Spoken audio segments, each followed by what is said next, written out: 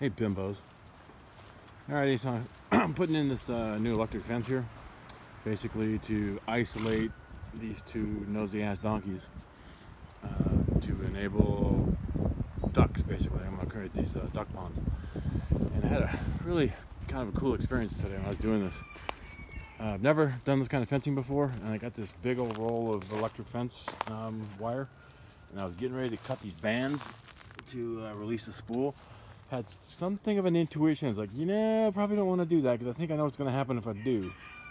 Went and looked online, did a Google search, and long and short is basically uh, there was actually a small tag on the spool that said, "Don't cut the tabs unless you until you have the wire installed on a spinning jenny." And I was like, "What the hell's a spinning jenny?" Did some homework, found out that Tractor Supply had one for 39 bucks, and that's what you see right there. So basically, I can cut these bands now, and this whole thing spins. I can pull the wire off, and more importantly, it's going to keep that wire from unspooling, becoming a rat's nest, uh, which is probably pretty dangerous.